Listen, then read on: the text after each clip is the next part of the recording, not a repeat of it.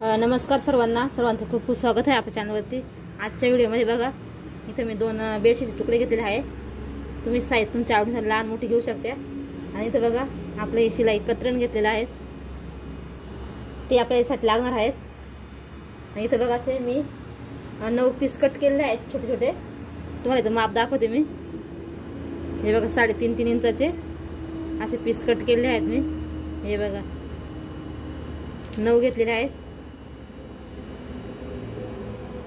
आणि ब्लॅकचे तीन घेतलेले आहे पिंकचे आणि हे बघा याचे तीन टोटल सहा पीस घेतलेले आहे आता बघा आपण एक पीक पीस असेल करून जोडून घ्यायचे आहे ते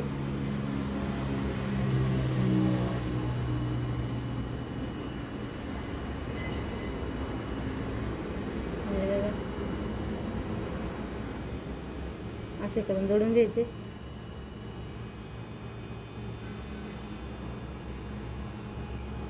हे बघ या पद्धतीने असे आपल्याला जोडून घ्यायचे जॉईंट करायचे आहे एक एकमेकाला जोडून ना. या ठिकाणी तुम्हाला मी बघ हे दोन तुकडे घेतले आहे. याचं पण माप दाखवते. बघा लांबीला आहेत अठरा इंच आणि रुंदी आहेत साडे चौदा इंच. असं माप मी घेतलेलं आहे याचं. आता हे बघा एकत्र आहे ना याच्या आपण अशा पट्ट्या काढून घ्यायच्या. दीड ते दोन दोन इंचाच्या अशा पट्ट्या. सरळ कट करून घ्यायच्या. लहान मोठ्या चालते जॉईंट करून घ्या. एकदम छोट्या असेल तर. हे बघा या पद्धतीने. माझ्याकडे बघा असं कापडं पडलेलं आहे ते कत्रणमध्येच त्याच्या मी सर्व अशा पट्ट्या कट करून घेते. हे बघा या अशा. कारण हे तर मी वेस्ट जात असं कतरण वगैरे आपण याचा काही वापर वगैरे करत नाही. पण या अशा वस्तू जर बांधल्या तर वर्ष वर्ष टिकतात. काहीही होत नाही त्याला. किती पण वापर केला तरी. बाजारातून आणल्यापेक्षा घरच्या घरी आपण आणि टिकाऊ पण असतात. आणि आपण ज्या गोष्टी तयार करतो त्याचा आपल्याला आनंद पण भेटतो. तर आपण स्वतःच्या हाताने काहीतरी तयार केलं. चला तर मग सर्व मी असं कट करून घेते आणि तुम्हाला दाखवते स्टिचिंग वगैरे पूर्ण व्हिडिओ आता या ठिकाणी आपल्या पूर्ण कट्ट्या पट्ट्या कट झालेल्या आहेत. चला आता तुम्हाला दाखवते शिवायचं पण मी.